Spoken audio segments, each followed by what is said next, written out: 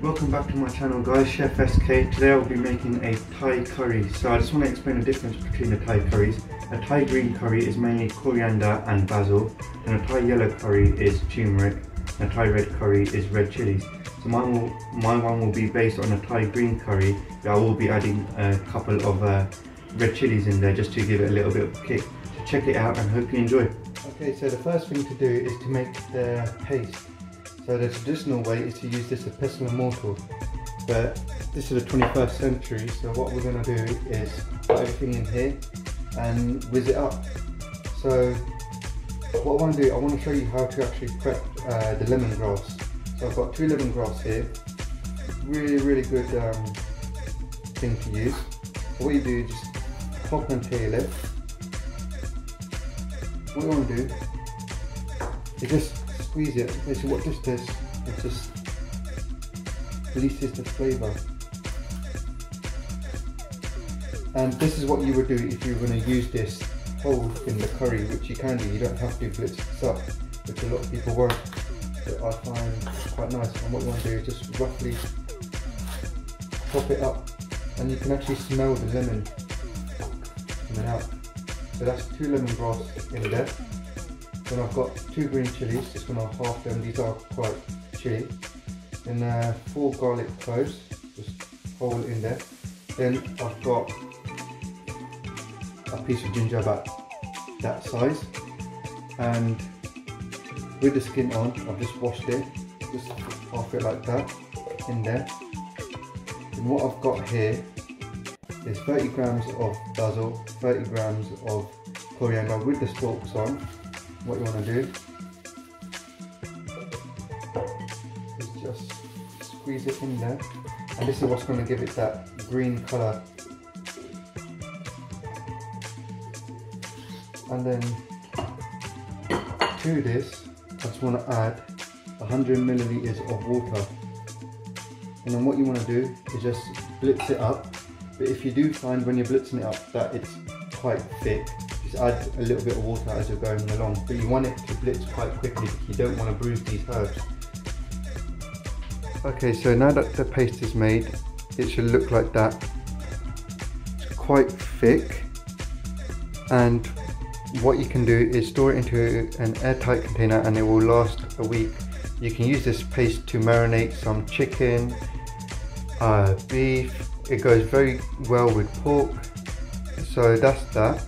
And then for this recipe, what I will be using is one teaspoon of uh, ground coriander, one teaspoon of ground cumin, three dried kaffir lime leaves, which are found in superstores quite popular now, two tablespoons of ground uh, ginger and garlic, one tin of coconut milk, and then I've got four chicken thighs which I've diced quite thick.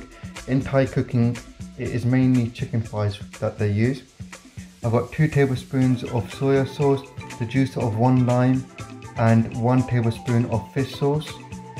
Uh, pak choi just chopped quite roughly, sliced uh, mushrooms and then a bunch of spring onions just sliced like that.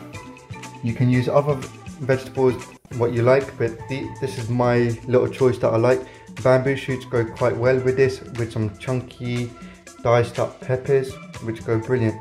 So let's start cooking. Okay so I have my wok nice and hot with about three tablespoons of uh, rapeseed oil in there.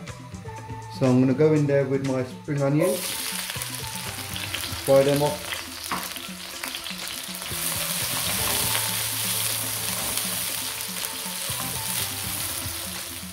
Once these are a bit soft, what you're going to do is add 3 tablespoons of your paste.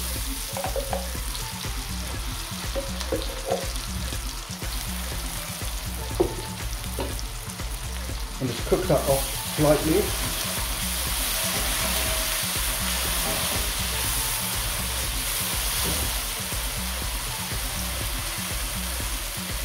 Then you want to go in with the rest of your spices.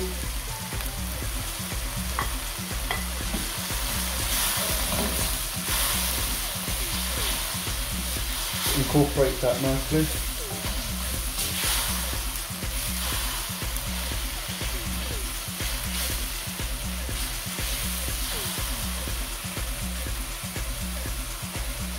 And then you just want to go in with your chicken. Just mix that chicken in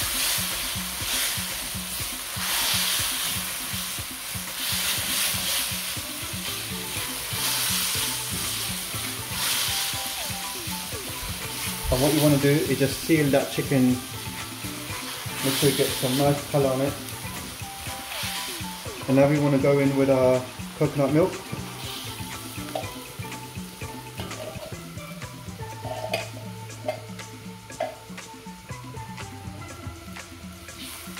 And just let that melt.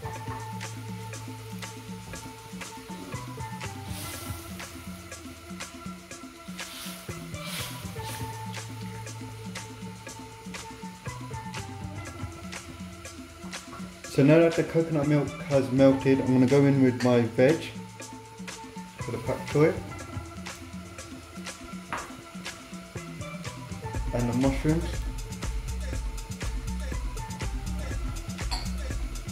And then at this time, I want to go in with one teaspoon of salt. And just give that a really good mix.